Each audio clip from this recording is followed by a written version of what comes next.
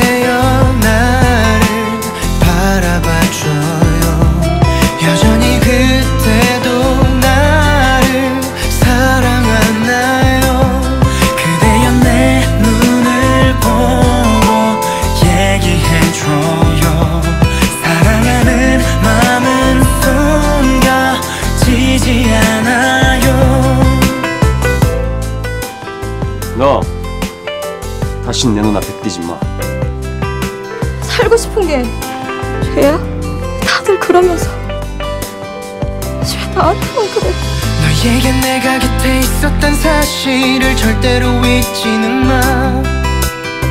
널 위해 모든 걸 바칠 수 있었던 내 마음을 마.